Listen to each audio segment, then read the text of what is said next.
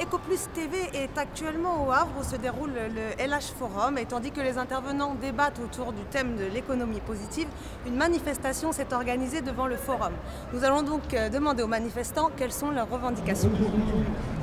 Eh ben, aujourd'hui, on regrette qu'il y ait une opération euh, de communication euh, à destination de la population locale qui soit organisée et euh, qui en fait se résume à quelques discours dans un cadre extrêmement précis qui est celui du, fonctionnement économique tel qu'on le connaît aujourd'hui, sans aucune rupture et qui prétendent proposer des solutions positives dans cette économie-là. On n'y croit pas. Bien sûr qu'on est pour les microcrédits, les tontines et tout ce qui se fait dans, certains pays, je pense quand même que le, but n'est pas celui qui est affiché. C'est une façon, à mon avis, pour euh, les, puissances financières de redéployer une partie, des capitaux et de, continuer à les rentabiliser.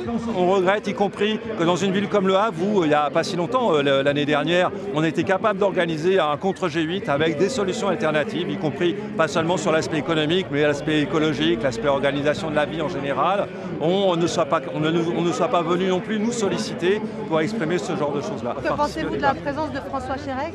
Ah, Écoutez, c'est un petit peu compliqué. Bon, je regrette que François Chérec euh, se mêle de ce type de débat-là. Euh, il ne nous semble pas que euh, ce soit le lieu idéal pour discuter de ce genre de choses.